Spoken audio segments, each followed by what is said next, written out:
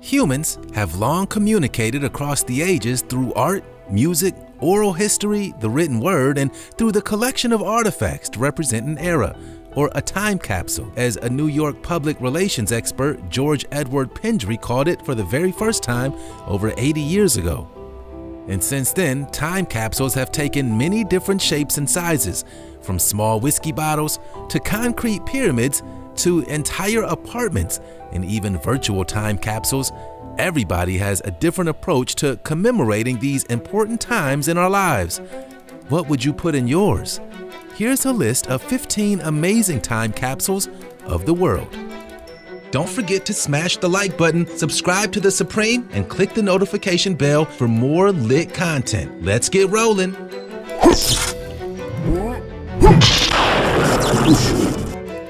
Number 15 MIT's Great Find. Our journey begins at the Massachusetts Institute of Technology on the American East Coast. While breaking ground during initial stages of construction on a new building, workers came across a long forgotten time capsule buried in 1957. What could be inside, you ask? Well, a copy of A Scientist Speaks by Karl T. Compton, new coins from the First National Bank, a class of 1957 mug, and an empty tonic bottle. Most importantly, though, was a small container of synthetic penicillin and a cryotron a revolutionary new electronics component invented at MIT that year, which would eventually help computers become smaller and more energy efficient. But the best part is that the capsule was to remain buried for not 50 years, not 100 years, not 500 years. This epic time capsule was not to be opened under strict orders until 2957. That's 1,000 years. These smarty pants MIT people carefully engineered the capsule with special glass and filled it with argon gas to preserve the contents. And while they were at it, the designers threw in a sample of carbon 14 so that if the glass was breached and the documents destroyed, future scientists could date the contents accurately. MIT President James R. Killian Jr. wrote in his 1957 letter to be sealed within the capsule, we cannot guess what the next millennium holds for the world or whether you will regard our age as one of science, but we are confident that you will have a greater understanding of the universe and that we will have made some contribution to that understanding. We wish you continued success in the pursuit of knowledge. And congratulations, class of 2957. You're welcome. Number 14, Paris Apartment. Picture it, Paris, France, 1939. There's news of World War II breaking all over Europe, and you have to leave for the south of France and abandon every possession you own in your elegant Parisian apartment.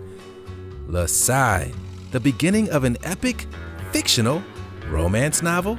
No, this is an absolutely true tale of an entire apartment left empty for over 70 years. A time capsule full of rich, sumptuous clues about the life before the Second World War. Remarkably, the rent was paid for years afterwards, month after month, yet the apartment remained empty all that time, completely untouched until the owner, Mrs. de Florian, passed away at the age of 91. Besides gorgeous antique furniture, clothing, and toys, and yes, even a stuffed ostrich, a painting by renowned 19th century Italian painter Giovanni Boldini was left in the apartment. It featured a woman thought to be the grandmother French actress and socialite Marthe de Florian at 24 years of age. Ooh la la. There's more. The time capsule home also revealed her love affair with the artist through a stack of love letters wrapped in colored ribbon. So the apartment proves to be as loaded with possessions as it is with secrets too, but it's currently not open to the public. But some lucky art history lover bought that painting at an auction for a cool $3 million. Number 13. Oldest time capsule? During the United States 1876 centennial celebration, Mrs. Anna Deem, the widow of a Civil War veteran, filled an iron safe with several quirky pieces of Americana that she had collected, a century safe she called the time capsule, and the safe would remain locked for 100 years until when the then president could open it to celebrate the national bicentennial in 1976. It contained 19th century relics, snapshots of President Ulysses S. Grant and other politicians by photographer Mathew Brady gilded pens, and inkstands belonging to Henry Wadsworth Longfellow, a bound volume containing the names of more than 80,000 government employees, a temperance manual, and a letter from President Rutherford B. Hayes. Mrs. Dean was not playing, but at the time, Congress declined to accept it. Apparently, they deemed the treasure as small business, and it languished in storage for almost 100 years. Can you believe it? Plus, they didn't have the keys but a locksmith cracked the safe and its contents were rediscovered and restored in time for the July 1976 nation's bicentennial festivities. Hooray! At a ceremony attended by President Gerald Ford, Mrs. Dean was formally thanked and the safe was finally received under the original terms. Senator Mike Mansfield said the opening had honored the wish of a lady who sought to speak to us from the other side of a 100 year gulf. It's about time. You go, girl. Number 12, Burbank. Imagine the excitement on November 24, 1986, when a mysterious time capsule long buried in the cornerstone of an old library and almost completely forgotten about was about to be unveiled in Burbank, California. The City Hall steps were packed with local news stations, the mayor, and other city officials plus all the friends and family all joined together to celebrate the city's 75th anniversary Diamond Jubilee celebration. You can almost smell the hot dogs grilling, the popcorn popping, maybe, or feel the sticky fingers of children eating cotton candy. The buzz of the crowd is palpable over the marching band nearby playing Great American Standards when a city official clears their throat on the microphone at a podium on a city hall step, spilling noisy feedback over a hungry audience. Ladies and gentlemen, cue the game over music. The celebration was widely considered a disappointment as the time capsule contained mainly unimportant library documents, such as receipts for library plants, etc., and most had disintegrated over time and from water damage due to inadequate asbestos wrapping. Ugh. But there is a lesson here. Sometimes the real treasure is not strange, historic artifacts, or long unsolved mysteries buried for future generations to dig up. Sometimes the best discovery is the power in coming together and celebrating your community pride. Number 11. Nickelodeon. The classic family television channel, Nickelodeon, was launched officially in 1979 and was the first cable network creating shows just for kids of all ages. And in 1992, alongside the Kids World Council, and yes, that is a thing, Nickelodeon decided to commemorate their success with you guessed it, a time capsule. Together, they decided to include what was deemed as significant as their time, then put them in a big orange time capsule, then bury it in front of Nickelodeon Studios in Universal Studios, Florida. Of course, key items like a chunk of the Berlin Wall, news articles covering current events, a girl standing atop Soviet tank in Red Square during the communist coup attempt in August of 1991, plus coverage of the AIDS crisis, Desert Storm, and the end of the Soviet Union. Books like a World Atlas, history book, comic book, phone book, and a TV guide, and even a copy of the Book of Endangered Species were also included trendy items such as rollerblades, an early 90s fitness staple, and the inflatable Reebok pump sneakers were voted in too. There was also food, bubblegum, Twinkies, and a collection of movies, including Home Alone, and CDs of popular music at the time, MC Hammer. Top it off with a Barbie doll, a skateboard, a Nintendo Game Boy, and a jar of Gak the ultimate token of childhood in 1992, buried in this time capsule, has to be the one of TV actor Joey Lawrence's Whoa 92 hats, which he stopped by in person to present. This catchphrase from the early 90s sitcom Blossom made this teen heartthrob a superstar. This time capsule will be unearthed and opened April 30th, 2042, 50 years after it was first buried. Number 10. 121 year old whiskey bottle. So you find a 121 year old bottle of whiskey in a box inside a bridge in Scotland. What do you do? Is it even whiskey? Well, in fact, it was a bottle of whiskey and some newspaper clippings in a metal box discovered by construction workers on duty on a single track horse bridge in the Scottish Highlands. Sounds charming, right? Cue the Scottish Pipers. It was a time capsule the size of a shoebox, dating back to 1894, with an unlabeled glass bottle with some good old fashioned whiskey inside, some newspapers, plus some other artifacts. The bridge is currently undergoing major restoration, but the original stone masonry and piers will be restored even as the bridge is upgraded. And the time capsule has been donated to the nearby Highland Folk Museum. And did you know? Fun whiskey fact as long as the bottle of whiskey is kept out of direct sunlight, it will neither improve or deteriorate, even if it's opened. So even if you keep a 12-year-old bottle for 100 years, it will forever taste like 12-year-old whiskey. Mind blown emoji. Number 9. Yahoo Time Capsule. You heard it correct. A Yahoo time capsule, and not just any old time capsule, a digital time capsule from all the way back in 2006 when Yahoo was a huge deal. Now that may not seem like that long ago, but it's still considered one of the largest compilations of digital media created ever. So back in the day, Yahoo collaborated with artist Jonathan Harris and invited internet users to contribute their thoughts and opinions and their imaginations. Submissions included audio, video, text, and images capturing what life was like in 2006. An exercise in digital anthropology. Sounds pretty cool, right? Well, ask the internet and you shall receive. Yahoo received 170,857 submissions and the collection was entrusted to the Smithsonian in Washington, D.C and in March of 2020, Yahoo's 25th anniversary, the digital capsule was opened on Native American sacred lands in New Mexico.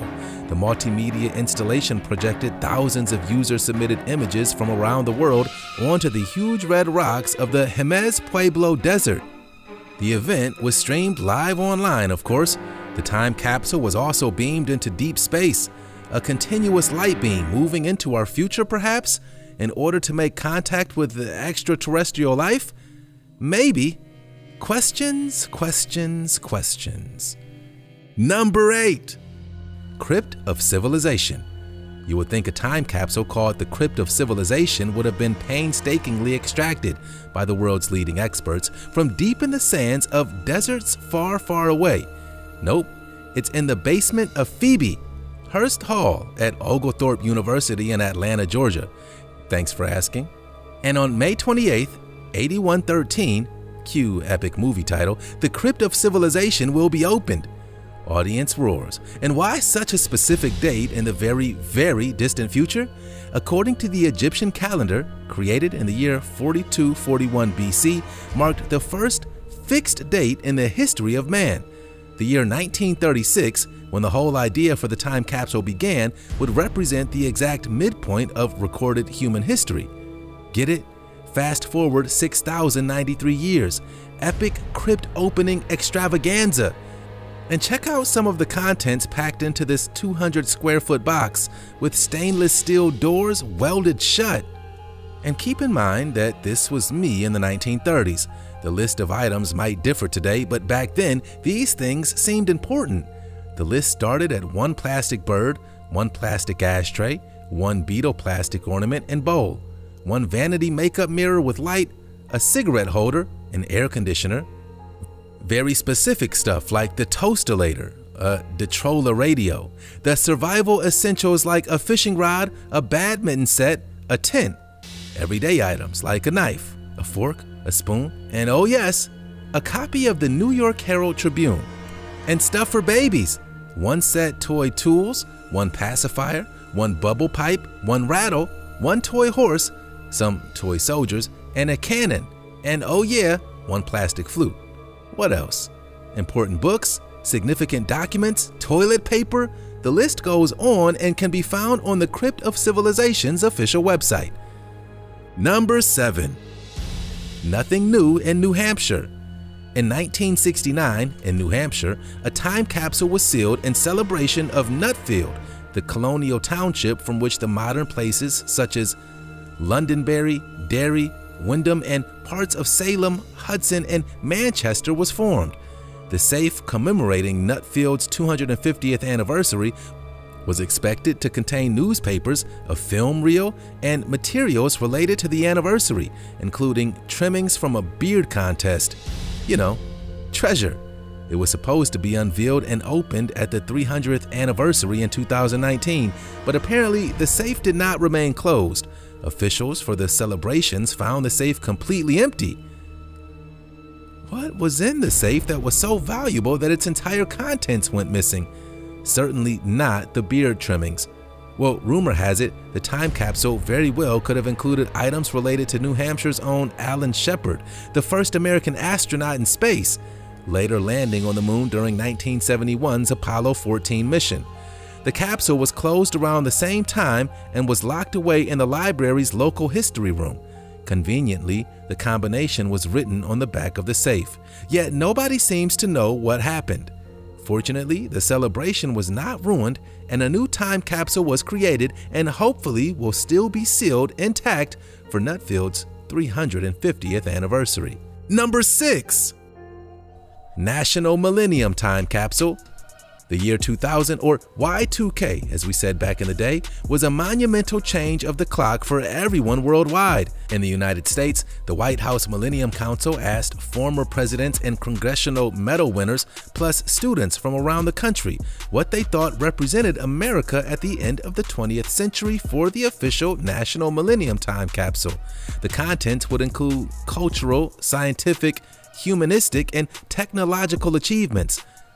But ultimately, the vessel would express the many hopes of a nation, like the end of world hunger or the cures for cancer and AIDS, to bring more arts and culture into the lives of children and to strengthen democratic principles and civil rights. Obviously, the capsule contained meaningful items like state flags, a computer chip, a piece of the Berlin Wall, film of the moon landing, a model of the Liberty Bell, and more here are some other things that were deemed essential to commemorate the new millennium. A photo of civil rights icon Rosa Parks, blind musician Ray Charles' sunglasses, a cell phone, an origami eagle, glass, ceramic, thermal shock resistant Corningware, and of course, Twinkies, a golden sponge cake with creamy filling. But according to the New York Times, the delicious treats were removed then eaten by the White House Millennium Council staff because of mice. Yeah, right. Likely story. The prototype vessel was unveiled at a ceremony on December 31, 1999. It's currently on exhibit at the Smithsonian Institution's National Museum of American History, but the actual time capsule is housed at the National Archives and Records Administration. Number 5.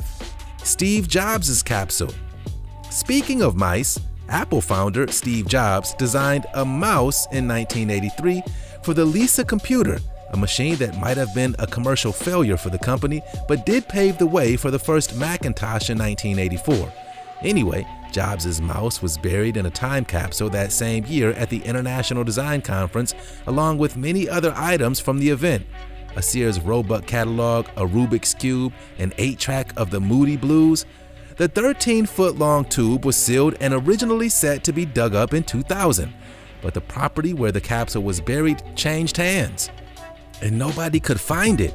Treasure hunters were thrown off by new landscaping in the area, which made its exact location difficult to find. That is until 2013, when the crew from National Geographic Channel's show Diggers found the elusive Steve Jobs time capsule with thousands of items from the convention. Quite a find. The late Apple founder's mouse is what made it one of the most coveted lost capsules in history. Want to know what else was discovered? How about a 30 year old six pack of beer for whoever was lucky enough to unearth the time capsule? Cheers! Number 4 Westinghouse Time Capsule. Just imagine what humans will think in 5,000 years when they finally unearth the Westinghouse time capsule buried in 1939 in Flushing Meadows, Corona Park, New York. Electronics giant Westinghouse filled an 800 pound, 8 foot time capsule made of copper and chromium lowered 50 feet into the ground at the site of the 1939 40 New York World's Fair. It was at this event that people got to see the first public demonstrations of color photography, air conditioning, nylon, and the fluorescent lamp. That is huge. The air conditioning alone, called Dawn of a New Day, the 1939 fair adopted a futuristic theme, but the capsule contained some very regular, everyday objects like men's and women's grooming tools and children's toys, various textiles and technology, miscellaneous items such as money, a microfilm essay, and a newsreel. Seeds were preserved in an inert argon and nitrogen gas to remain intact for the next 5,000 years until the year 6939 to be exact. The capsule manifesto proclaimed, To the people of the future, we leave the legacy. I wonder what a time capsule built 5,000 years from now would contain. Number 3. World's largest time capsule. One might ask the question, what is a time capsule? Is it just an empty vessel buried in the ground full of meaningful stuff? 45 years ago, in Seward, Nebraska's 4th of July city, one man set out to figure that one man set out to figure that out and furthermore, build the biggest time capsule in the world. The year was 1975, and proud grandfather Harold Keith Davisson, local celebrity, store owner, and town character, was thinking about his grandkids. He wanted them to know what life was like in 1975, convinced that they wouldn't remember him. So he filled the time capsule with an odd collection of 5,000 items, including a bikini, an aquamarine leisure suit with stitched yellow flowers, a Kawasaki motorcycle, and a brand new Chevy Vega. The capsule was sealed and was to be opened on the 4th of July in 2025. The 1977 Guinness Book of World Records certified his time capsule as the largest in the world. Kudos! Mr. Davisson, but the Oglethorpe University in Georgia protested and claimed that its Crypt of Civilization, sealed in 1940, was, in fact, bigger. But this was a granddad not to be beat. Davisson countered that that their crypt was merely a sealed-off room in a campus building and not a time capsule at all. So in 1983, he built a second time capsule even bigger than the first, on top of the old one, in the shape of a pyramid so there could be no question as to whose was the largest. He also entombed another vehicle, a beat up Datsun or Toyota, nobody seems to remember. But we will all find out in 2025 when, right in front of the Davisson store, the time capsule will finally be opened. Number 2 75 year old punchline. It must be so exciting knowing you have a time capsule buried in the ground beneath you, the anticipation of uncovering treasure deep in the earth, the unknown history, the hidden meaning in each object. And in this case, the punchline to a 75 year old joke. For real? The residents of Lebanon, New Hampshire discovered a time capsule hidden under the steps of City Hall from 1944 in the form of a brown bottle of whiskey a very popular artifact in time capsules, and was placed there by former city surveyor Samuel Stevens. Whoever finds this bottle may keep it, he said in the note dated June 10, 1944, but the punchline was that there was no whiskey inside the bottle, just a single penny. Stevens' note then added, Sorry, there's no liquor in it, but I drank it all up. Aw shucks. The message did suggest that there were more bottles buried for future hunters to find, but until they're uncovered, we will never know if those whiskey bottles are empty or full. Could this be another one of Mr. Stevens' jokes? Penny for your thoughts? Number 1. 50 year old message. If you've ever thoughtfully scrolled a message on paper, sealed it in a bottle, and then tossed it into the ocean, then you probably could imagine the delight the person finding it would feel. But even more so, you might feel the surprise that the message in a bottle was even found. Incredibly, English teacher Paul Gilmore, then 13 years old, dropped the bottle, aka time capsule, into the Indian Ocean while sailing with his family on a liner from the UK to Melbourne 50 years ago. In the note written on November 17, 1969, Gilmore wrote that he was traveling to Australia and was a thousand miles away from Fremantle, hoping that whoever found the note that they might reply, I loved reading adventure stories, Robinson Crusoe and the rest. He said, I think I was hoping a beautiful girl on an exotic island would find it. He added, but alas, it wasn't. The message in a bottle was found in South Australia by a 13 year old boy named Jan Ellett, who was out fishing with his father on the Talia Beach, 1,500 miles away and 50 years later. Can you believe it? What are the odds? Probably very slim. Coincidentally, a family in Perth found an even older time capsule in the form of a bottled message after it was thrown to sea.